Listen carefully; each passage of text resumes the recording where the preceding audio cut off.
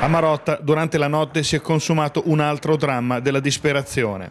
Una donna di 54 anni, originaria dell'Interland, non ha retto alla rottura della relazione sentimentale con l'uomo con cui si frequentava, un coetaneo del posto.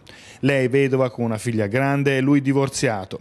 La donna ha preso l'estrema decisione di togliersi la vita impiccandosi a notte fonda nel ballatoio al secondo piano della palazzina di Via Nettuno, dove abita l'uomo. Secondo i carabinieri che sono arrivati sul posto della tragedia non ci sono dubbi né sulla volontarietà e né sulle motivazioni del gesto della donna. Pare che siano stati ritrovati nell'auto alcuni biglietti a cui lei stessa ha affidato i suoi ultimi pensieri. Ad avvisare le forze dell'ordine sembrerebbe essere stato proprio il suo ex compagno alle 6.30 di questa mattina.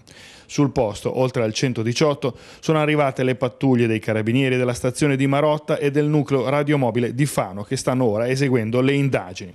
Il magistrato ha disposto l'esame autoptico della salma in data ancora da definirsi.